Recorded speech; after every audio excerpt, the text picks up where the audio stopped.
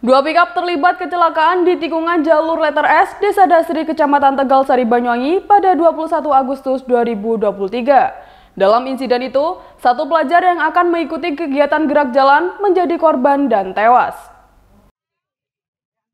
Dalam video amatir milik warga ini, terlihat anggota TNI dibantu warga berusaha mengevakuasi salah satu penumpang pikap yang mengalami kecelakaan di tikungan letter S Dusun Kerajaan Desa Dasri, Kecamatan Tegal Sari, Banyuwangi. Korban berusaha dipapah keluar dari kabin pickup L300 yang diketahui dikemudikan Juzali, warga Karangsari, Kecamatan Sempu. Korban dievakuasi menggunakan pickup lain yang kebetulan melintas. Tercatat, ada empat orang termasuk sopir yang ada dalam pickup bernopol DK8781CG tersebut.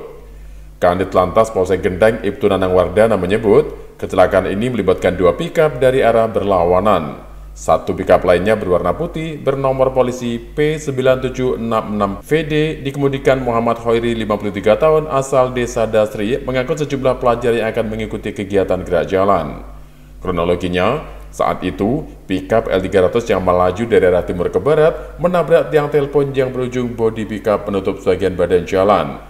Naasnya, dari arah berlawanan, muncul pickup lain berwarna putih yang kemudian menghantam bagian belakang pickup tersebut. Satu pelajar atas nama Rizky Zakaria Boy menjadi korban setelah tubuhnya terkena besi bak pickup yang patah akibat kerasnya benturan dua pickup itu. Pelajar asal Maluku itu tewas saat akan mendapat perawatan di rumah sakit. Tiba-tiba dia menabrak menabrak tiang itu karena kaget posisi depan menabrak tiang posisi bak yang belakang itu mounting mounting ke kanan dan saat itu juga dari arah barat melaju pickup itu yang uh, mengangkut penumpang. Jadi korban ini duduk di belakang uh, Rizky Boy ini uh, pemuda dari Maluku yang menumpang di pickup itu.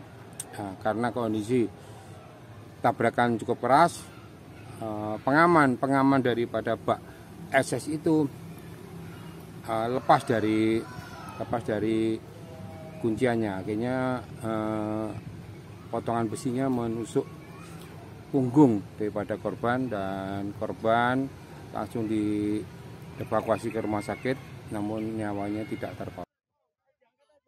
Total ada lima korban yang mengalami luka dan kini mendapatkan perawatan intensif di rumah sakit. Mereka merupakan penumpang dari kedua pickup naas itu. Pasca olah TKP dan pemeriksaan saksi-saksi, kini kedua pickup langsung diamankan di unit lantas Polsek Genteng. Dari Banyuwangi, Jawa Timur, tim Liputan Nasional TV melaporkan.